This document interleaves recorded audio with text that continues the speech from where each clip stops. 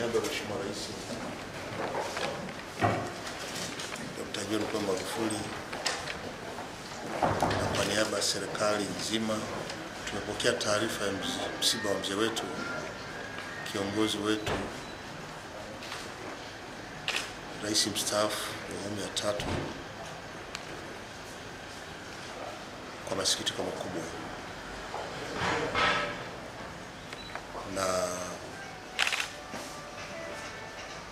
kuwa taarifa ilikuwa ya muda mfupi wa kuugua kwake, e, sisi kama serikali na Watanzania wote tumepata mshtuko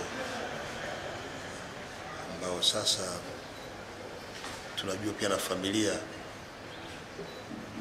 imepata mshtuko zaidi.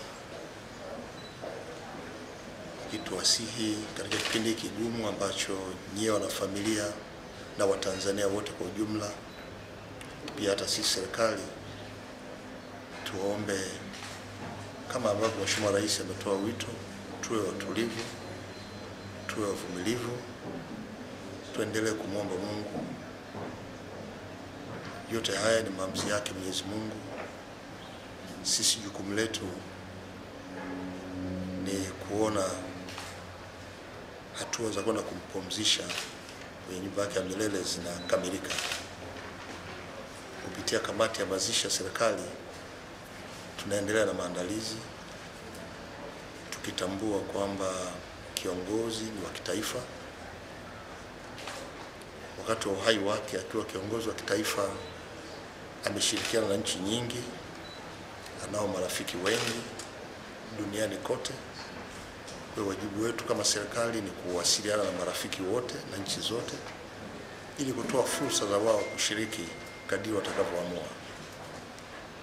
Kwa hiyo kamati ya mazishi ya serikali inaandaa taratibu zote. Baada ya kupata taarifa ya familia, tutakuwa tutatoa taarifa kitaifa e, siku ya maombolezo kitaifa ambayo kwa awali yatafanyika hapa Dar es Salaam uwanja wa Taifa, na baadaye mwili utaupeleka nyumbani ambako familia utaamua.